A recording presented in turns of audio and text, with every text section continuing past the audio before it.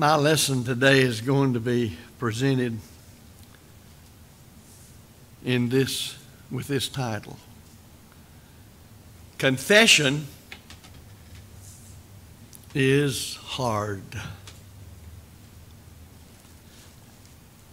Somebody may say, and you can see how this is directed toward Christians, but even in making a confession of faith that Jesus Christ is the Son of God, we still make that good confession. But I'm thinking now about confession of sins. Please remember what we said this morning about the man after God's own heart, especially that part of that sermon that had to do with his confession of his sin. Some people will say, well, it's just hard to walk down the aisle with all those people looking at me or whatever. Have you ever noticed how we use terminology that a lot of people who are not involved with the Lord's church and the worship, they may not know what we're talking about. There are many churches that never offer any kind of invitation at the end of a sermon.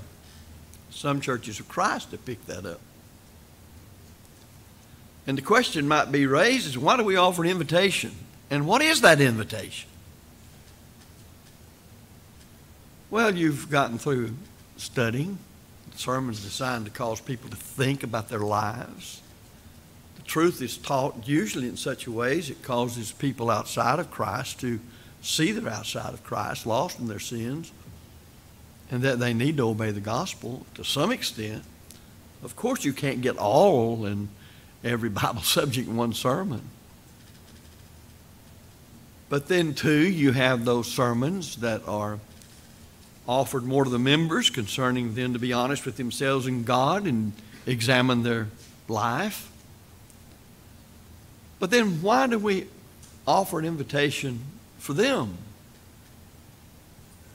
And we say, come forward, or some churches, I mean, come down here and stand before the church and tell them what Christ has done for you. That's what that would mean. And in a number of Pentecostal groups, they'll start raising their hand and going up and down because they want you to, they want to be called upon to, as they would say, quote, testify for Christ, unquote, meaning they want to tell you about some experience in their life. Well, there's a reason Peter said, If any man speak, let him speak as the oracles of God. And when we express to people at the end of a lesson designed to convert people to Christ or to motivate brethren if they have sins, to confess their sins privately, to confess their sins to God and pray for forgiveness. But if their sins have brought reproach publicly on the church, then to respond publicly to confess before the church the fact they have sinned and that they're repenting of those sins because, mark this down, confession in the Bible of sins is evidence of repentance. Now, if you make a confession of the fact that you're a sinner or you've sinned, but there's no intention on your part to quit that sin, then that confession is useless. But when you've had a sermon designed to make a person think about their spiritual state, whether they're outside of Christ, need to obey the gospel, or whether they're in Christ, and are they living faithful? Are they steadfast, unmovable, always abounding in the work of the Lord? Or are there areas of their life they know they need to repent of because they're not faithful in those areas? Then you offer it for them to come down and to confess their sins and ask the brethren to pray with them and for them for the forgiveness of their sins. So we need to have people understanding what we do. When we say, come forward, or please come down the aisle, we need sometimes to explain what we're doing because we get so used to speaking to ourselves, we understand it. But people who aren't exposed to what we do to be obedient to the Lord in our worship assemblies don't understand that a lot of times. Well, so some people think that walking the aisle, we'll call it, is difficult. But confessing sin, which evidences true heartfelt repentance, when it's done right, now that's what's really hard. And I've approached this at times in preaching a lesson on what biblical repentance is. emphasize this. Most difficult thing to fully do, as the Bible teaches, in becoming a Christian or at any time one needs to do it as a Christian, is repentance. Because most people simply have the idea, I'm ashamed of myself, I'm wrong, I'm sorry. But do they change their actions from then on? Now, that would be the fruit of repentance, the reformed life. Repentance takes forth before that, but you don't know it except that one shows it by the fruit of repentance, which is the reformed life. You don't stay in that sin any longer. You show you have repented because you've confessed it, but it doesn't end there. You show it in the life you live. Confessing sin is necessarily individual and very personal, and that's one reason it begins to be difficult. We all sin or he sinned. That's not very difficult to say. The hard part is when I must say, I have sinned. Because sin is individual. Guilt before God is personal and personal from the heart confession of sin is demanded. Now, that's the reason I had you remember what we said this morning about David. Listen to Psalm 51. Remembering what David did in his lust for Bathsheba. How far he was willing to go to cover up the fact she was pregnant. Led to the murder of her husband. Lies were told. But then, as we noticed, when David was fully convicted of the fact, I have sinned against God, I did it. Nobody else. I can't blame anybody. You know, if he'd been like some people who said, Well, what's she doing over there on top of the roof, taking a bath where everybody could see her? That's not all my fault. Was her business to tend to, that's right. But the spotlight's on David. And here's what David wrote. And remember what we said about confessing sin is necessarily individual and very personal. David is very mindful, Psalm 51, of what has happened. And you can see he is heartbroken. His old stubborn will has collapsed. Have mercy upon me, O God, according to thy loving kindness, according unto the multitude of thy tender mercies, blot out my transgressions. Wash me thoroughly from mine iniquity and cleanse me from my sin.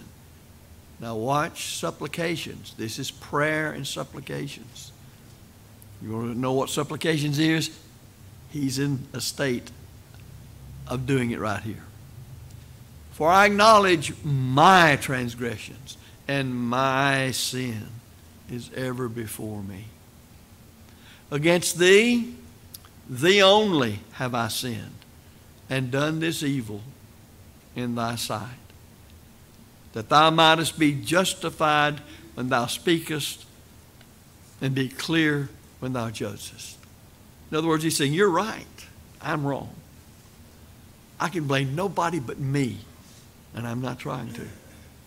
Thou art God and just, righteous, and holy. Behold, I was shapen in iniquity, and in sin did my mother conceive me. Behold, thou desirest truth in the inward parts, and in the hidden part thou shalt make me to know wisdom. Can't get more personal than that. Purge me with hyssop, and I shall be clean. Wash me, and I shall be whiter than snow. Make me to hear joy and gladness, that the bones which thou hast broken may rejoice. Hide thy face from my sins, and blot out all mine iniquities. Create in me a clean heart, O God, and renew a right spirit within me. Cast me not away from thy presence, and take not thy Holy Spirit from me. Restore unto me the joy of thy salvation, and uphold me with thy free spirit. Then will I teach transgressors thy ways, and sinners shall be converted unto thee. Deliver me from blood guiltiness, O God, thou God of my salvation, and my tongue shall sing aloud of thy righteousness. O Lord, open thou my lips, and my mouth shall show forth thy praise. For thou desirest not sacrifice, else would I give it. Thou desirest, thou delightest not in burnt offering. The sacrifices of God are a broken spirit a broken and contrite heart, O God, thou wilt not despise. Do good in thy good pleasure and design. Build thou the walls of Jerusalem. Then shalt thou be pleased with the sacrifices of righteousness, with burnt offering and whole burnt offering. Then shall they offer bullocks upon thine altar. Basically, what he's saying there is when I get my life as it ought to be, then the rest of it falls in line. And going to be what they ought to be. Now remember, he's not just saying that as a person who's an Israelite in his sin, but he's saying a person who's an Israelite and king with the responsibilities God gave me over this whole kingdom. So there is a load on his shoulders. I'm thankful to God that in his infinite wisdom and love for us that he's given us David's confession in Psalm 51 because it teaches me about what it is to pray to God, confess my sins, and to offer supplications before God for my sins. So sin is individual, or rather, the confession of sin is individual. Sin, of course, is individual too. Guilt is personal. Personal confession of one's sins is demanded. And that's what we see in Psalm 51. But also, confession of sin is very definite. As I said recently, this idea of somebody coming to confess before the church if I have done anything. If, when you read Psalm 51, does it sound like David says, Well, no, Father, if I've done these things? There's none of that there. If a person is at the state of where he's still saying or she's saying, Well, if I've sinned, they're, they're not ready to make a confession, they haven't repented. That's easy, but it's not confession of sin. When a person is unsure whether he or she has sinned, they need to find out if they have. They need to be sure they have not, or they need to be sure they have. And until one knows and admits one's sin, then one can really make no genuine from the heart confession as we find recorded in Psalm 51. These if confessions are nothing more than a mockery of what God teaches on the matter, and they're a farce. Confession must say, I have sinned. There's no doubt in my mind about it. That's what I've done. Now, if there's one thing stands out, and there are a number of things stands out in Psalm 51, but if there's one thing that stands out, is that David was definite. My sin is ever before me. Another thing about confessing sin. is specific. A confession of generally a sinful life is proper, but this is not the thing under consideration. Confession admits a particular sin, even as you can see it in Psalm 51. David referred to this evil and blood guiltiness. True confession is I've been a talebearer. I've lied. On down the line. I've been a troublemaker. I've been contentious. I haven't forgiven somebody who did confess their sins. Now, I've been in church for a long time and I preached for a long time. And I never remember anybody, and I've never heard of anybody, surely somewhere there is, where somebody came forward and said, I am a covetous person.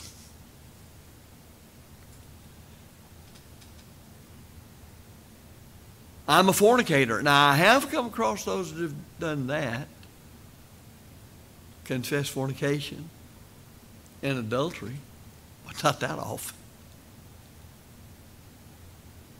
But do you see the specificity in Psalm 51?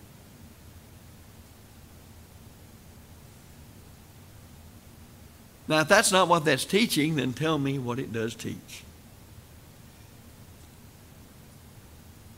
It's hard. It's so hard to make the kind of confession we're studying about in the Bible. There are few who will do it. Of course, often sin is renamed. It's renamed. The crime against God in our own minds is reduced. Now, you know, it's a common practice in the practice of law in the land, prosecutors and defense attorneys. Uh, it may be something like this the criminal is allowed to admit a misdemeanor rather than the felony he actually committed. Now, I guess people get the idea you can do that as Christians, and God says, that's just wonderful. At least we got him that far. But you don't see that in the Bible concerning confession. In other words, in God's court, that's not going to work. You cannot confess hurting someone's feelings when you've outright slandered the person. Now, if you don't, if you don't think brethren can slander one another, you probably don't have too much to worry about getting to heaven anyway because you're not responsible enough for much of anything. Brethren will slander one another right and left, and they've done so. And not a few elders and preachers. Been there and heard that, had it practiced on me. Now, what's the greatest example of it? Jesus Christ. And he said, Beware when all men shall speak well of you trying to vaccinate them against thinking we can only operate when everybody thinks we're the greatest servants of God on earth. Not so. Over and over again, he said, They hated me, they're going to hate you. They persecute me, they're going to persecute you. So, part of getting a person ready to obey the gospel and be godly is to be ready to sacrifice. But we're talking about Christians who should know better because their name says of Christ, and Christ never slandered anybody. Attacking people's character. I say preachers have done that because if you get into controversial areas where you're exposing false doctrine and the person cannot, that's teaching it, refute you, I promise you he will attack you personally. There's no ifs, ands, or buts about it. He will attack you personally. How does that work? Well, think of what the Jews did who wouldn't accept Christ. He works a miracle. He did it by the power of Beelzebub. It's all there as to how people operate who are great religious people. But being religious is not enough. Being a member of the church is not enough. Holy living is required. That's faithfulness. And we all have to work at it. So, accidentally misrepresenting the facts or exaggerating doesn't take the place of outright telling a falsehood about somebody, that is, lying about somebody. Confession means dealing with the specific sin. Confession addresses the one who has been sinned against. Now, in Matthew 18, you have the instruction of how God expects individual Christians to deal with matters when nobody else knows about it, but the one who sinned against one. So the one that sinned the one who was sinned against. And that's where God wants it ended. God and those two are the only ones that know about it. And then, of course, that person is to go to the one that did the sinning. Or if the sinner has realized I did that and I was wrong, that person is expected to go to the one he sinned against. Either way, vice versa. And set it right there and it goes no further. But if the sinner being approached by the one sinned against will not repent, then the one sinned against take two or three brethren with him, that every word may be established in the witness's mouth. And if that won't work, it's to be put before the whole church what the matter is. And if that won't work, then that person is to be withdrawn from for failure of repentance, which means they wouldn't confess the fact they had sinned against somebody else. I've seen situations, been involved with them, where somebody would come to the elders and begin to talk about somebody that sinned against them. Well, elders can't do anything about that on their own as elders except to teach the truth to that person who's been sinned against and tell them to go back to Matthew 18 and go to that one and deal one on one and follow the Lord's pattern for dealing with it and bringing that person to repentance and therefore confession of sins. And so, if elders are what they ought to be, they're going to say, Have you done that? No, do it. That's all they can do.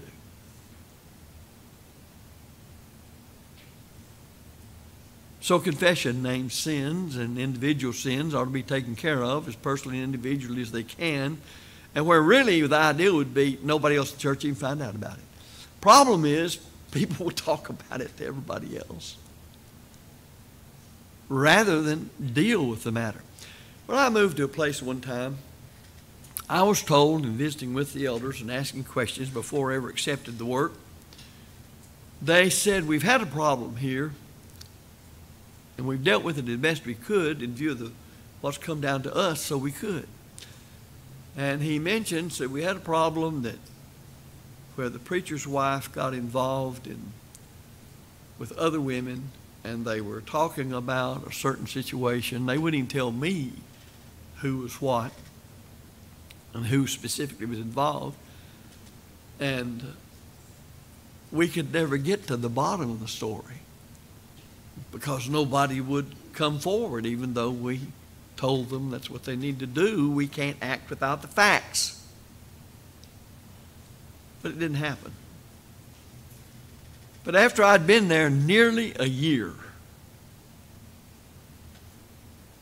the rumor of this one deacon having an affair with another deacon's sister in law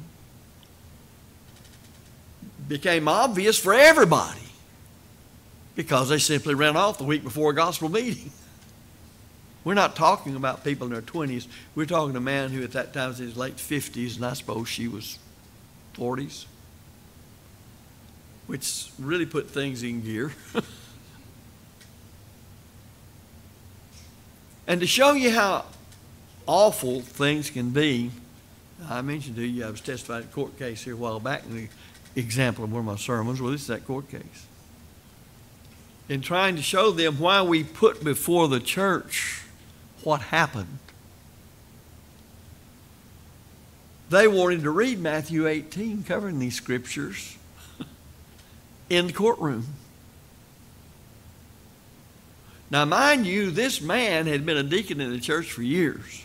Had been active in the church in the time before all this came to light. He was as active and working around the church building as anybody could be. Wife was too.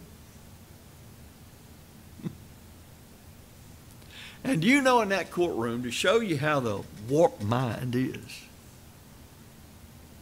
when they wanted to read from the scriptures because when they asked him what he thought, one lawyer protested, said, let him read from the scriptures himself and explain what he thinks it means. That was his lawyer.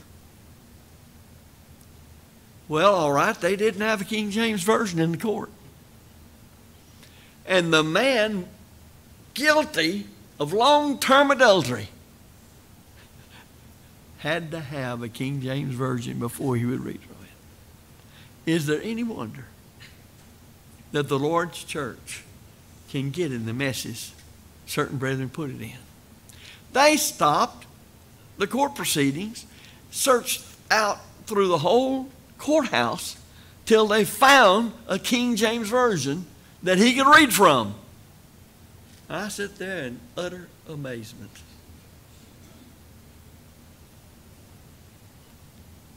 So you see, some people, to cover up a sin, can have their being completely corrupted. Now, another thing confession addresses the one who's been sinned against.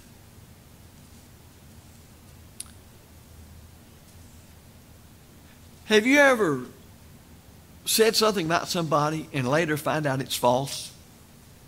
What'd you do about it? got rather quiet.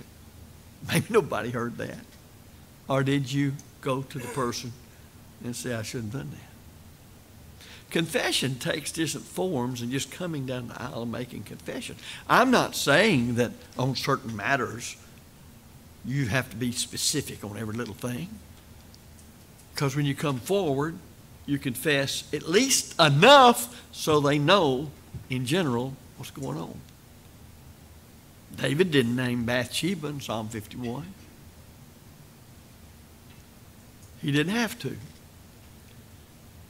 The point is, is that you, me, when we repent, we're repenting of sin or sins. It's very personal. They were committed against God. We stand condemned before Him. When it involved other people, then we go to them. They're our brethren. We're to love His brethren. Was prayed just earlier how much we are to love our brethren. So, this business of confession takes into account how we deal with things, what we say, the words we choose. When we later on went to visit with this fellow, there were two more couples, and Jody and I.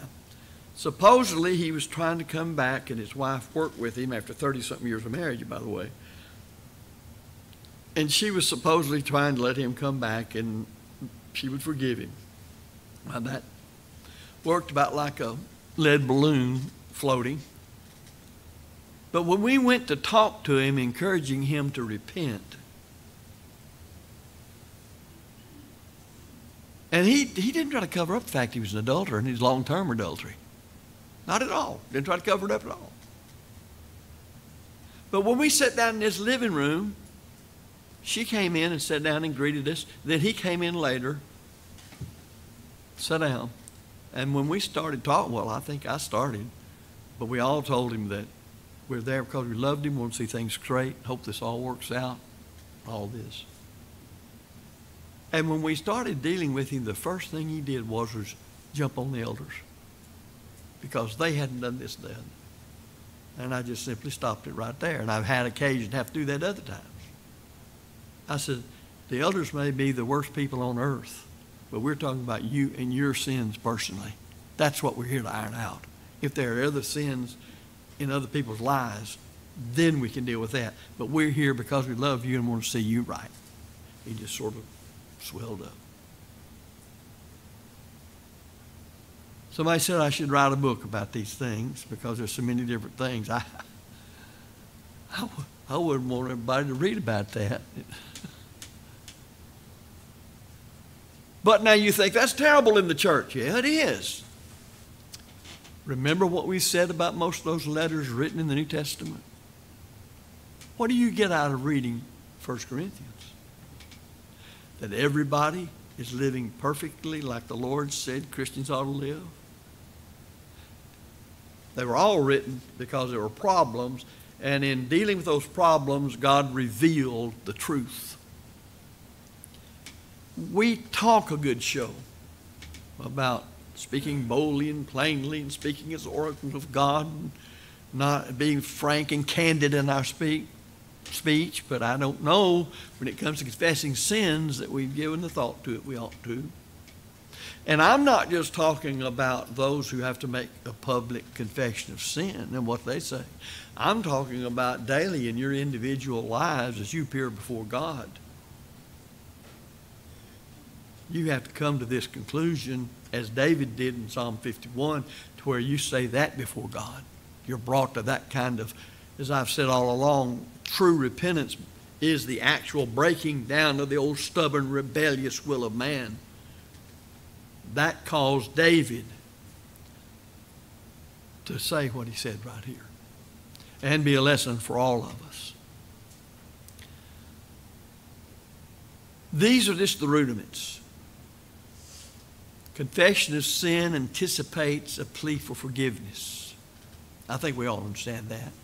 I probably don't need to spend any more time on that than, or less time on that than other things. Does the Bible teach us anything about that in the New Testament? James, you know, we say is a very practical book.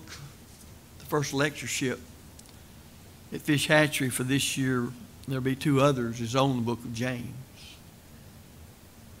Gets right down to where we live in everyday conduct. In James 5, verse 16, plainly stated, confess your faults one to another and pray one for another, that ye may be healed. The effectual, fervent prayer of a righteous man availeth much. There's no dodging the impact of that. Confess your sins one to another. Pray for one another. You know one thing it does when you do this? keeps you humble, keeps you contrite. I've seen some people say, well, if I admit I sinned, people will think highly of me. Well, I think pretty highly of David. And one reason I think pretty highly of David, a man after God's own heart, is because of these things about his confession.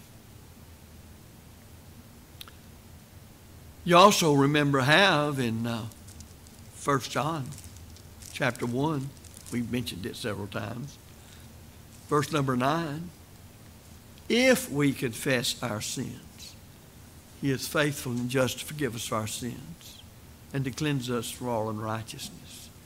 If we say that we have not sinned, we make him a liar and his word's not in us. Well, you take both of these passages together, James 5 15, 1 John 1 9, it becomes obvious then.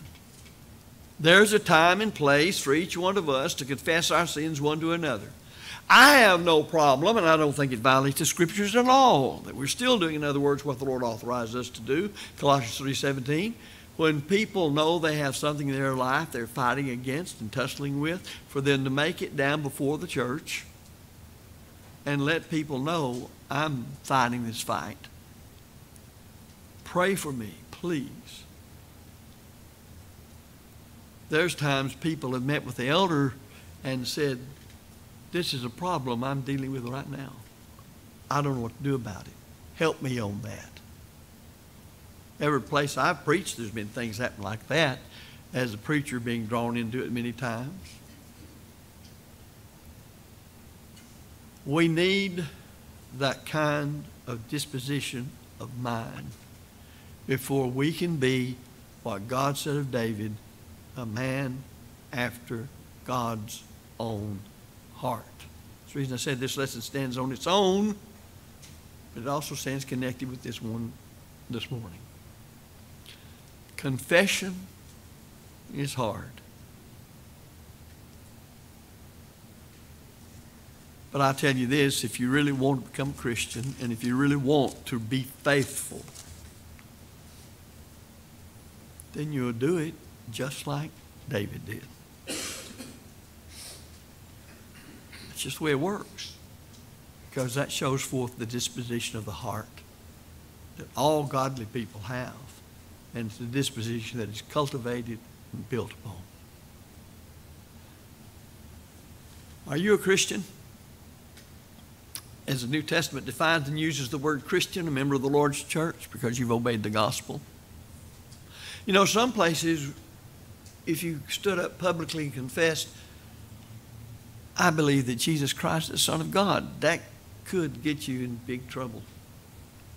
We don't see that happening over here now, but there may be, you may be surprised on certain college campuses, certain workplaces, just to emphatically state, I believe that Jesus Christ is the Son of God. Can cause your workmates or your fellow students or professors or somebody to take a dim view of you. They may do various things in a form of persecution of you. But then there are those sins privately done.